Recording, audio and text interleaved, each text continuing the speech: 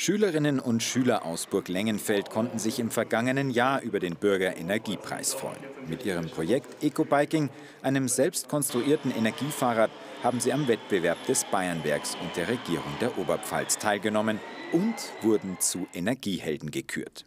Der Bürgerenergiepreis wird heuer zum dritten Mal an Menschen vergeben, die sich für die Energiezukunft stark machen. Uns ist es ganz wichtig, die Bürgerinnen und Bürger bei dem Thema Energiewende mitzunehmen, denn wir sind fest der Meinung, dass das Thema Energiewende, die ja, über die alle sprechen, das ist nicht nur Thema des Staates oder der Kommunen oder der öffentlichen Hand oder der Energiewirtschaft, sondern wir sehen da die Verpflichtung oder eine große Möglichkeit, die Bürgerinnen und Bürger, dass die einen ganz wichtigen Beitrag auch leisten können und wir denken sogar auch leisten müssen weil da sind sehr gute Ideen vorhanden und die müssen wir oder sollten wir dann auf jeden Fall mitnehmen auf dem Weg der Gestaltung der Energiezukunft.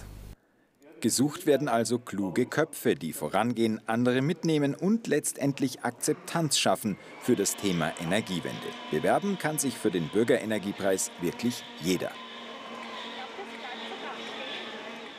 Wir suchen den die Bürgerinnen und Bürger in der Oberpfalz, wir suchen die Schulklassen, die Kindergartengruppen, wir suchen Vereine, die mit ihren ja, Ideen einfach was anpacken wollen, was äh, verbessern wollen, das Thema Energieeffizienz vielleicht auf, äh, aufgreifen wollen. Wir haben im letzten Jahr zum Beispiel einen Preisträger gehabt, ähm, eine Schulklasse mit dem Thema äh, Fahrrad, hier was zu gestalten. Also ich glaube, das ist sehr, sehr vielfältig, was man jetzt machen kann.